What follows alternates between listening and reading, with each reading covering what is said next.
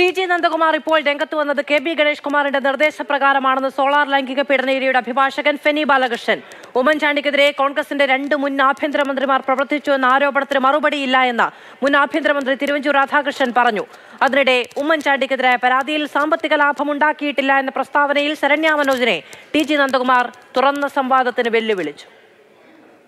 Solar പീഡന ആരോപണത്തിൽ മുൻ മുഖ്യമന്ത്രി ഉമ്മൻചാണ്ടിക്കെതിരെ ഗൂഢാലോചന നടത്തിയതിന്റെ മുഖ്യ സൂത്രധാരൻ മുൻ മന്ത്രി കെ ബി ഗണേഷ് കുമാറാണെന്ന് അഭിഭാഷകൻ ഫെനി ബാലകൃഷ്ണൻ ആരോപിച്ചു.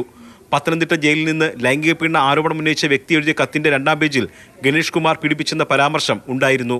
അത് വായിച്ചു നോക്കിയപ്പോൾ അതിന്റെ രണ്ടാം പേജിനകത്ത് ഗണേഷ് കുമാർ പരാതിക്കാരി പീഡിപ്പിച്ചതായിട്ടുണ്ടായിരുന്നു.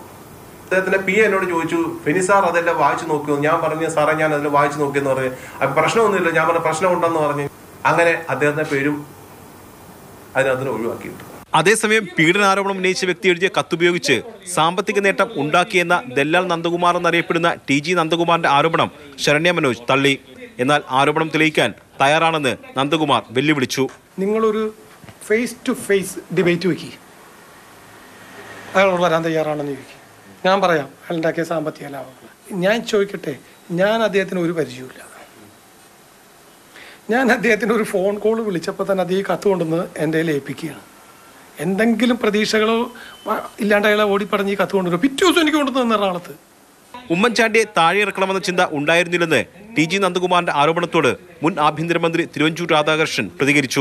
ഈ കേസിനകത്ത് രണ്ട് ഭാഗത്തായി നിൽക്കുന്നത് മുഖ്യമന്ത്രി നിയമസഭയ്ക്കകത്ത് പറഞ്ഞു. ദല്ലാൾ പുറത്തും പറഞ്ഞു. അപ്പോൾ ഇനി അവർ തമ്മിൽ പറഞ്ഞു തീർക്കുകയല്ലാതെ ഞങ്ങൾക്ക് എന്ത് ചെയ്യാൻ പറ്റും? ഞങ്ങൾ we are only third party മുഖ്യമന്ത്രി പിണറായി വിജയനുമായുള്ള കൂടിക്കാഴ്ചയിൽ സോളാർ പീഡന ആരോപണം ഉന്നയിച്ച വ്യക്തി എഴുതിയ കത്ത് മാത്രമല്ല അധികാരത്തിലെത്തിയാൽ ചെയ്യേണ്ട വിഷയങ്ങളും ചർച്ച ചെയ്തിരുന്നതായി ടി ജി നന്ദകുമാർ പറഞ്ഞു. നന്ദകുമാറും മുഖ്യമന്ത്രിയും തമ്മിലുള്ള സംഭാഷണം അവർ പറഞ്ഞു തീർക്കട്ടെ എന്ന് തിരുവഞ്ചൂർ രാധാകൃഷ്ണൻ പരിഹസിച്ചു. മാതൃഭൂമി ന്യൂസ് കൊച്ചി.